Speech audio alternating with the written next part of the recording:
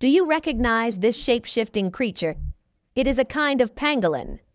Pangolins are, besides humans, the only animals that carry the leprosy bacterium. Yet despite having a deadly virus, pangolins were almost eaten to the brink of extinction. As the world's most defensively strong animal, pangolins are most famous for their tough armor, which is so hard that it can even deflect bullets.